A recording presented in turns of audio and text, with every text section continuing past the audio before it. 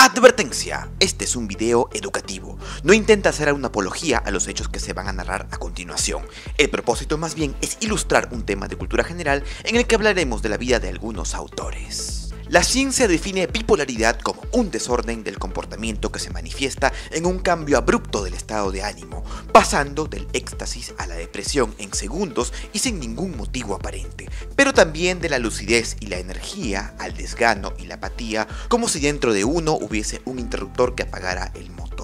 Y aunque creo que todos sufrimos de algún grado de bipolaridad, hay casos extremos que en esta ocasión es preciso recordar, no tanto por lo que desencadenaron, sino porque tuvieron como protagonistas a algunos de los más grandes escritores de nuestro tiempo.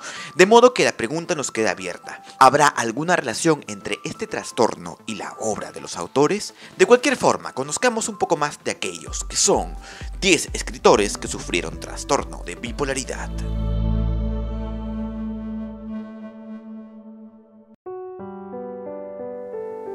Número 10. Sylvia Plath. Fue una famosa escritora estadounidense que empezó a publicar poemas desde los 8 años de edad, siendo una de las principales expositoras del género de la poesía confesional. La muerte de su padre la marcó desde que tenía 9 años y por mucho tiempo se creyó que aquella pena nunca la pudo superar. Eran tiempos en los que la psiquiatría aún no había catalogado este trastorno que más tarde se conoció como bipolaridad. Esto llevó a Platt a episodios en los que escribía casi sin esfuerzo decenas de poemarios con episodios de intentos de suicidio, lo que finalmente acabó con su vida, abriendo el gas y metiendo la cabeza en el horno con sus hijos en la habitación de al lado. Número 9. Otra poeta representante del género confesional fue Anne Sexton. Tuvo varios episodios maníacos luego de una fuerte depresión postparto. Fue hospitalizada en diversas ocasiones y diagnosticada de trastorno bipolar, pero eso no evitaría que se suicidase a los 46 años. Entonces, se sirvió un vaso con vodka, se encerró en el garaje y encendió el motor de su automóvil, suicidándose por inhalación de monóxido de carbono. Acababa de terminar su último poemario titulado El horrible remar hacia Dios. Número 8. Un caso leve, aunque no menos célebre, fue el de Mark Twain.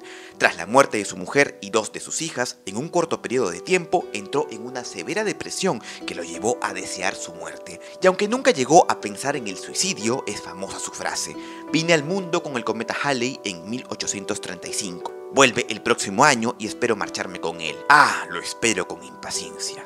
El año del cometa, Twain murió de un ataque al corazón. Número 7. Juan Ramón Jiménez. Es difícil establecer un diagnóstico en el caso del español, puesto que entonces no se hablaba de bipolaridad sino de neurosis, como una afectación un poco más genérica. Pero eran conocidos todos sus episodios de emotividad, sus crisis depresivas y su obsesión por la muerte. De hecho, personas cercanas a él lo comparaban con Mr. Hyde de la novela de Stevenson. Murió presa de una terrible depresión por la muerte de su esposa, la cual le impidió recibir el Premio Nobel de Literatura en el año 1956.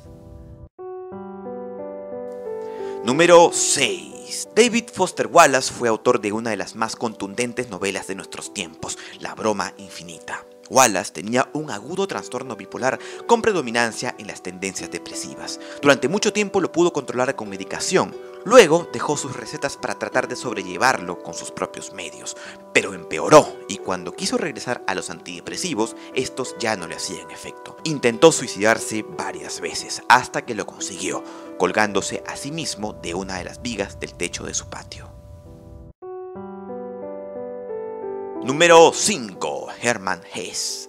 Desde muy pequeño alternó episodios de gran entusiasmo y creatividad con otros de desánimo y desgano, lo que junto a su rebeldía adolescente lo llevaron a querer suicidarse con solo 15 años de edad. Esto propició que sus padres lo internaran en una clínica mental, lo que aumentó su resentimiento y su tristeza. Tener una mujer que padecía esquizofrenia y un hijo enfermizo no le ayudó precisamente a calmar sus brotes maníacos, menos el periodo entre las dos grandes guerras del siglo. Murió a los 85 años a consecuencia de una hemorragia cerebral mientras dormía. Número 4. Tennessee Williams. Las infames lobotomías que eran aceptadas por la ciencia como un método de curación eficaz a mediados del siglo XX dejaron a su hermana totalmente incapacitada, como a tantos miles de pacientes. Tennessee nunca superó este golpe, así como la desconfianza en la medicina. Cualquier dolencia las curaba con alcohol y drogas a las que era adicto. La muerte de su íntimo amigo potenciaron su depresión, llevándolo a ser hospitalizado y tratado en múltiples ocasiones.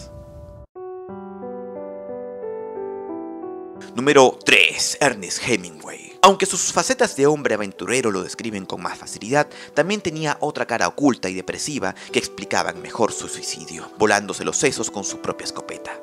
Resulta que Hemingway tenía problemas mentales. Algunos dicen que sufría trastorno bipolar, o traumatismo cerebral, o simple alcoholismo. Con todo, su vida estuvo marcada por varios episodios alucinatorios. Fue internado en un centro psiquiátrico donde se sometía a terapias de electroshock. Número 2. Edgar Allan Poe. Tuvo una vida de alternancia entre episodios de entusiasmo y desánimo, los cuales vinieron agravados tras la muerte de su mujer y todavía más en los últimos meses de su vida, como se puede comprobar en sus cartas en las que constantemente habla de su deseo de morir. Alcohólico, depresivo y se sospecha fumador de opio, murió en circunstancias extrañas. Fue encontrado en la calle en estado de delirio con unas ropas que no eran las suyas. Se sospecha que fue utilizado por agentes políticos para hacerlo votar, haciéndolo pasar por varias personas. Pero conociendo la variable personalidad del autor, cualquier cosa podría haber pasado. Número 1. Virginia Woolf. Indiscutiblemente es el caso más conocido, especialmente por su final. La autora inglesa se suicidó sumergiéndose en el río con un abrigo lleno de piedras en los bolsillos. Luego se dejó arrastrar por la corriente y no se recuperó su cuerpo hasta varios días después. Su esposo encontró la terrible carta de despedida. Decía así, Siento que voy a enloquecer de nuevo. Sé que esta vez no me recuperaré. No puedo luchar más. Ni siquiera puedo escribir esto adecuadamente. No puedo leer. Lo que quiero decir es que te debo toda la felicidad de mi vida. Si alguien podría haberme salvado, habría sido tú. Todo lo he perdido, excepto la certeza de tu bondad. Virginia había sufrido grandes episodios de depresión tras la muerte de su madre, su hermana, haber sido abusada por su propio hermanastro y perder su casa en la Segunda Guerra Mundial. Nunca pudo recuperarse de ese trauma. Volviendo a la pregunta inicial que quedó abierta, ¿habrá alguna relación entre este trastorno y la obra de los autores? Podemos plantearlo mejor a manera de paradoja. Ser creativo puede llegar a crear trastornos en tu mente o tu mente trastornada puede ayudarte a ser más creativo. De cualquier manera, y para concluir, hay que decir que la proporción de trastornos psiquiátricos entre artistas es mucho más alta que en otras profesiones. Si este video te gustó y quieres seguir viendo otros como este, te invito a suscribirte a mi canal o también a seguirme por las redes sociales. De momento se despide de ti tu amigo José Aguirre y espero verte en una muy próxima oportunidad. Ver áspera ad astra. you